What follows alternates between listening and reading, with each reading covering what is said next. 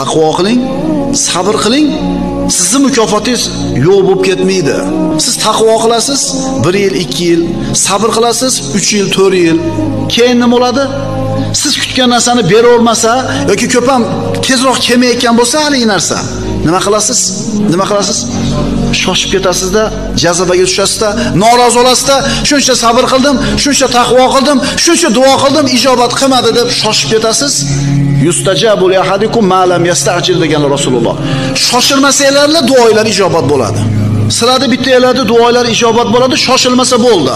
Qana qilib shoshiladi yo Rasululloh desa, bir banda aytadi, Robbimga duo qildim, duo qildim, sabr taqvo qilgandan keyin Alloh bermadi deydi. Mana endi bermaydi. Tushunarlimi? Siz uchun 5 yil uzoq vaqt, biz uchun 30 yil uzoq vaqt. Alloh uchun hech narsa emas. Umringizni oxiriga olib qo'ygan edi shu narsani.